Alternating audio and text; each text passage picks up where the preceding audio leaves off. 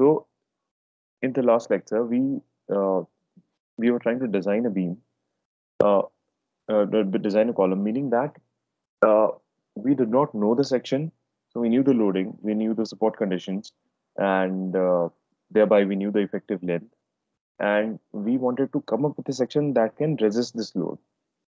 So to do so, we started with the slenderness ratio assumption of a slenderness ratio. We said that, you know, if it's an I section, we can assume the slenderness ratio to be somewhere between 80 and 150. So 100 seemed to be a good number to start with. We started with 100. Then we found out uh, the radius of radii of gyration about the z-axis and the y-axis. So we got two numbers. Then we went to the steel table and then we select selected a section in such a way that its RZ is greater than 5 centimeter and RY is greater than 3.5 centimeter. So we selected the section uh, ISMB 500 that has value of RZ which is 202 which is greater than 50 and RY of 35.2 which is greater than 35. Then uh, we uh, we know the drill from the analysis problem wherein we sort of found out first what is the buckling class of the cross section and then we found out the slenderness ratios and we knew we, we know which slenderness ratio to select. The slenderness ratio that has a higher value sort of governs the design, and therefore we selected the slenderness ratio about y-axis, which is 99.43. Now for buckling about y-axis, the buckling class is B, and therefore uh, we refer to the table that gives the data for buckling class B. Uh, the value of yield stress is 250. Therefore, in this column, we looked for a value between 99 and 100, and we said that the value is going to be close to 118 because this is almost 100. This is 99.43. So once we have the value of FCD, it's only a matter of multiplying with with the effective area to get the value of PD. Now, by doing so, we got a value. So uh, the the effective area is uh, triple one double zero. So by doing so, the value that I, I, I was getting is 1298.7 kilonewton. Okay. Now, if we compare it with the value or with the actual load that is to be resisted, the actual load that is to be resisted is 1600 kilonewton. So this is less than 1600 kilonewton, which means that this section that we chose is not adequate. Okay. So does it mean that we messed up in the calculation somewhere?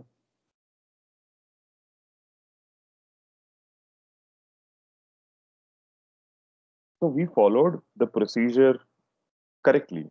So does it mean that there's a calculation error or, you know, does it mean that, oh, in general, what do you think is, is, you know, is going on here? Why did we get a value that is less than the target actual load that or the actual load that we are targeting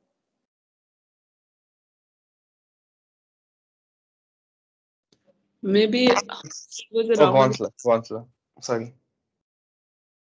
please go on I was saying maybe 100 is a wrong assumption. Like we can assume the slenderness ratio to be like 80. exactly you know that so that's where so we started an assumption. That assumption gave us a number. If that number is less than 1600 or less than the actual value or actual, the load of uh, the value of actual load that we are targeting which means that our assumption needs to be corrected. So we started with the value of 800 but maybe we should have started with the value 80 if you, we are going to choose this section. Maybe then we could get a value that is greater than uh, six that is greater than 1600 but now we, what do we do now? Now, we've already solved everything. And uh, we so if we still want to go ahead with the slenderness ratio of 100 perhaps what we could do is we could select a section that is that is slightly larger or that is slightly heavier than ISMB 500 now i'll just quickly open up the steel table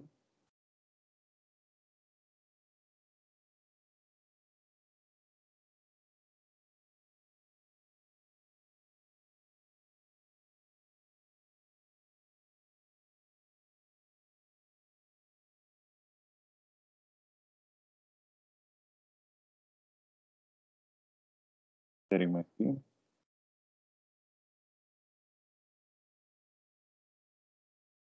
So if you look at the steel table, we have ISMB 500 that has a value of uh, 3.52 RY and RX is 20.2. Now, for this, we have selected this value that is very close to the value that is required.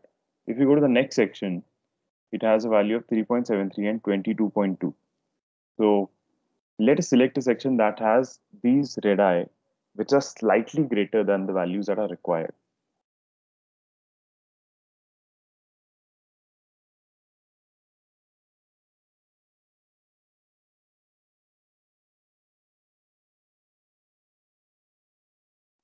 Bhargav, is it the same principle as when we're uh, preparing for a weaker weaker structure than what we actually get because of imperfections? Like we always imagine the load to be worse or the stress to be worse than what it actually is, right? Uh, could you please repeat? We always imagine that the column isn't perfect, right? That's why we have the that's why we always take a slightly larger we always Yes. prepare for the larger load. So this is where similar concept, right? Where oh I mean obviously there's the assumption also, but here we're taking the radius slightly larger because we're imagining that uh, it'll we can't take a lower radius, right? That's why we're taking a larger radius. Yes, yes. We cannot take a low, uh, lower radius for sure, because that would mean that you know we are just unnecessarily wasting our time in calculating. Because the required radius, the minimum required radius is 3.5. You for this particular slenderness ratio, so you cannot select anything that is less than 3.5. It is definitely going to fail. Okay. So if we sort of stick with this slenderness ratio, what we could do is we could select a slightly higher section. So let us say that we select ISMB 550.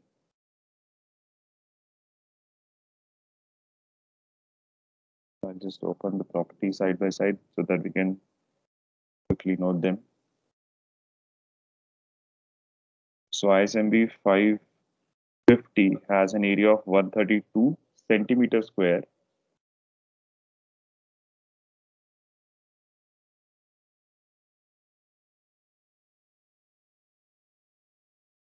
That it is 13200 millimeter square. It has a total depth of 550. The width of flange is 190. Then the thickness, oh, we don't need this data, RZ and RY.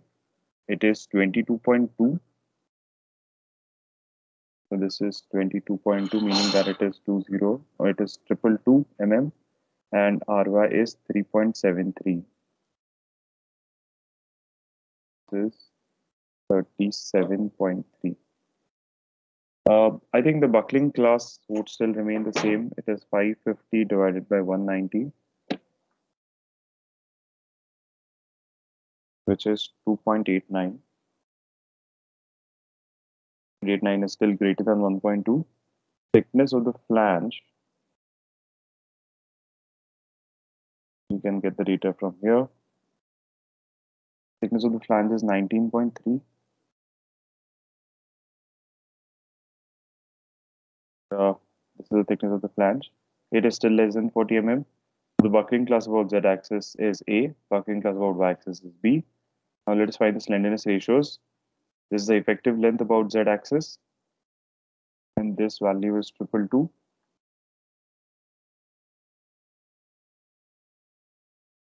So the slenderness ratio in this case is 22.52 and about y-axis this is 37.3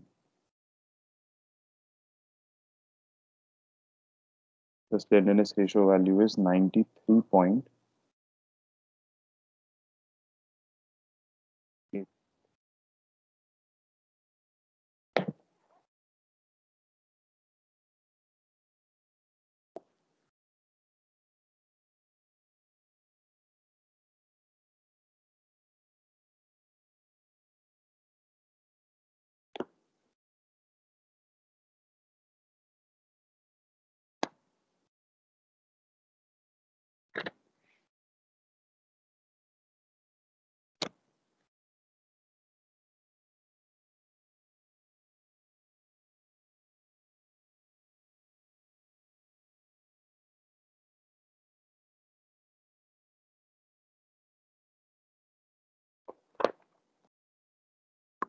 Uh, Bhargav, I had a question.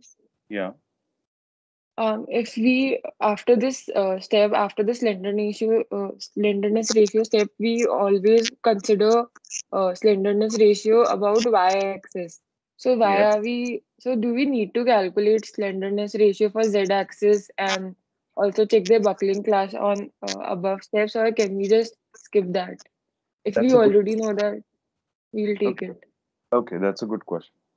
But we can decide on that only after looking at this slenderness ratios. Okay? Because we have seen here that the effective length about Z and Y axis could be different. Okay? So now this is a very hypothetical situation. But just imagine that if I give you a slenderness ratio about Z axis, which is say 1000, and a slenderness ratio of Y axis, which is say uh, 10,000 because you know the for bending about z axis the support is extremely stiff and for bending about y axis the support is extremely flexible in that case this value could be greater than this value Yeah, yeah, yeah. Okay. so what i mean to say is say if this value is uh, uh,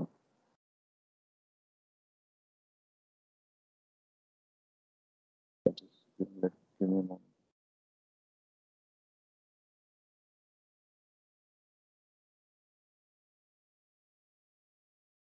Uh, did you understand my point? Yeah, got it. we can we can decide on which slenderness ratio is going to govern only after looking at these two numbers. Because these two numbers are not going to be the same always. There, there might be a case that this number is is is much higher than this number. There might be a case where this number is say 10000 and this number is say 1000 so in that case you might get a number here that is greater than this number. So you can't say for sure.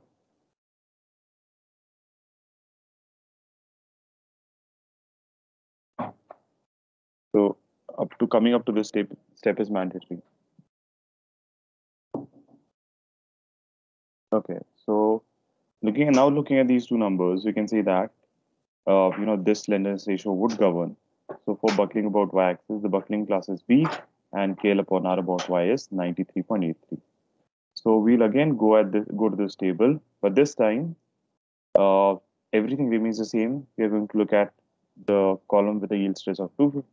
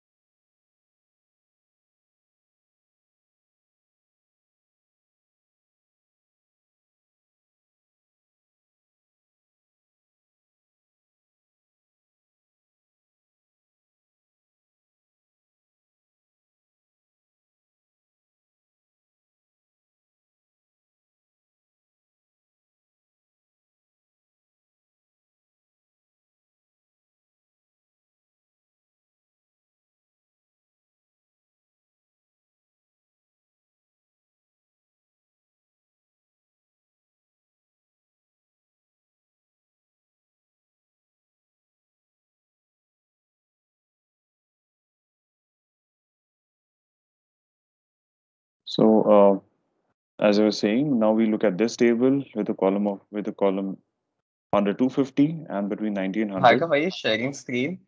I think after you got disconnected, your screen has been sharing. Can you see my screen now? Now we can. Yeah. Okay. So, uh, for the yield stress of 250, we're going to look at the slenderness ratios between 90 and 100, but with slenderness ratio value of 93.83. Now we need this, we need the FCD corresponding to this. So we'll do linear interpolation and the value that we get is 127.87 megapascals. Now the last step is uh, finding out the design axial load. This is AE times FCD that we have found out. So this um, is equal to AE, which is which we have found here. This is one three two double zero.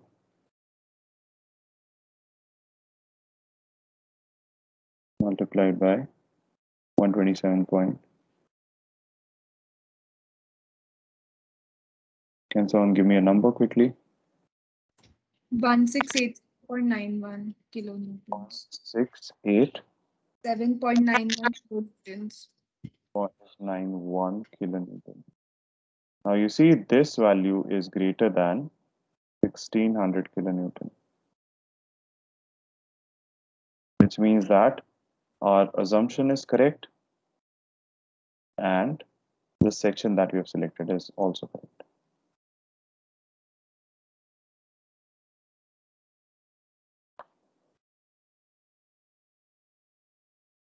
So in case, you know, this is from an understanding point of view, but in case in exam, you sort of select a section that gives a value that is, you know, slightly lesser than the value that we are targeting. Don't worry about it. You need not do this calculation all over again. You could just say that select ISMB 550. If, if you, for example, if you started with 500 and you ended up with a value that is lesser than 1600, do not worry about it you know i i will understand that you have understood the procedure. Just at the end write that you know ismb 500 seems to be inadequate so provide ismb 550 that's all you need to do. But this does not mean that you can do it when your calculations go wrong. Okay so if you start with ismb 550 and your calculations go wrong and then you select ismb 550 might not be adequate so select ismb 600 that that will not make any sense if all the calculations are correct it's only about selecting the section then i'll understand and i'll still give you marks okay I think I found another error in the previous selection of ours okay uh, perfect. because we had assumed uh, the value close to 117, but we were supposed to take a value between 118 and 134.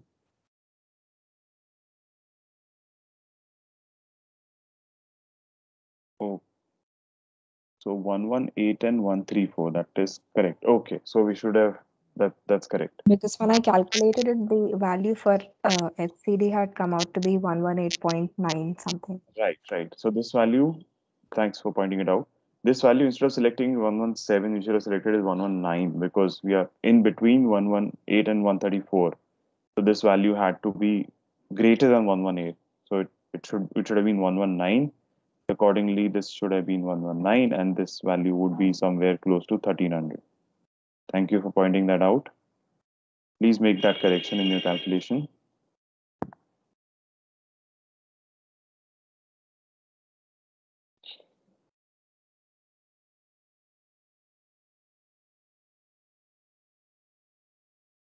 So any questions here no questions perfect i think we are good to go for the quiz so just give me a moment to set it I up had a doubt, but not regarding this.